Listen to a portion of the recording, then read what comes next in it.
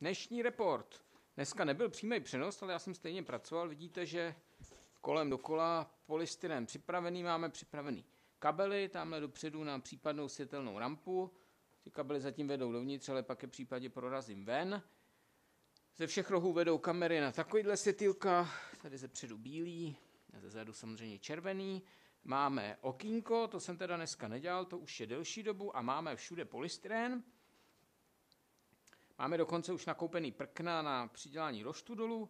To, tomu se dostanu, jakmile tohle zapolystyrenu a vyzvedám nahoru a zalepím. Až to bude v podstatě kompletně hotový, připravený na uh, dávání stropního koberce, protože ještě musíme přidělat tady boční stěny, tady ty, tady ty velký plastové plachty. Zbylo nám trochu polystyrenu, nejsem si úplně jistý, jestli to bude strčit na strop, možná budu muset ještě nějaký koupit. A No to je asi, asi zatím všechno. A jestli bude v neděli streaming, to si nejsem úplně jistý.